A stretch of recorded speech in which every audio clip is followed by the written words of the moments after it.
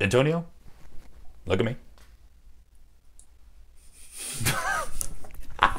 Shut the fuck up. God damn it! Can I go outside, please? Okay, I'll I'll, I'll come in in uh, I'll come in in uh, two minutes.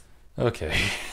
I, I, I gotta fucking laugh my ass off. All right, all right. Okay. Fucking cackle, you bastard.